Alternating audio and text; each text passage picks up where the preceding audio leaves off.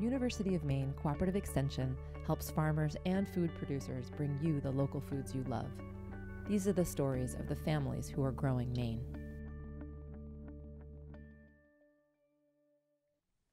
This goes back a ways. In 1963, I think it was, and my father found this piece of land down below three miles, and he thought it was a good piece of land to build a hunting camp. So we bought this 100 acres, and I grew up down east, so I can see a blueberry bush anywhere. And there were several grown-up fields down there. And so we gradually started cleaning up the fields and making blueberry ground out of it, and that's how this all got started. In 87, we bought this property and turned it into blueberry ground.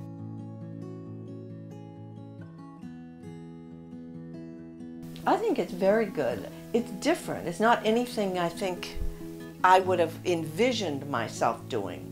We get married in 67 and then uh, went to graduate school in Texas and my first introduction to the blueberries was really the summers we would come back as a break from our studies. The wild ones, it's that combination of different types that you put that together in your cereal or anything, and there's a sweetness that just, you can't compare it with anything else. As we both started out in education, for the last 30 years I've been a real estate broker, and I've pretty much phased out of all that now, so I'm now a blueberry farmer, but you know, I have a long background in that.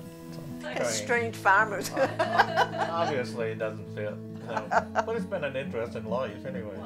It, it used to be, in the old days, we just basically worked for six weeks. We pick off even less. We picked the crop, took it to the freezer plant, and then that was basically our involvement. What I do these days is I rent bees, bring the bees in so they'll work the blossoms. We usually start picking uh, around the 22nd of July. We try to run as long as we possibly can, so we try to run through all of August.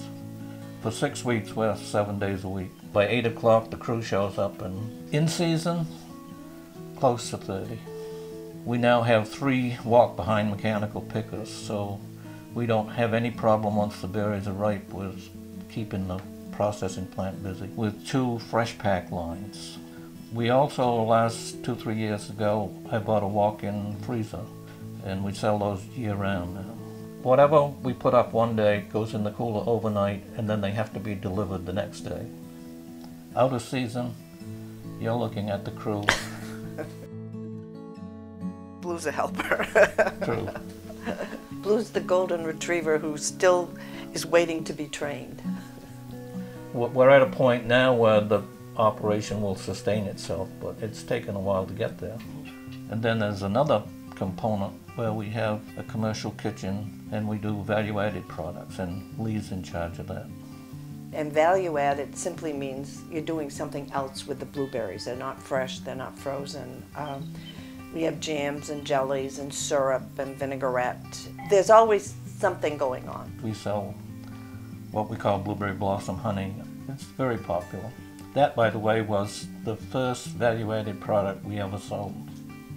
And it's been interesting. We've created all these value-added products ourselves. We conjure up the recipes, have our friends come taste them, change them. Finally, we settle on something and then... One phase of the cooperative extension that helps with questions if you're, you're producing food. You know, they're really very helpful. You, you have a question, even if it's, it's a stupid question, you know, uh, they're really responsive. Uh, and I found them to be very helpful. They analyze our products.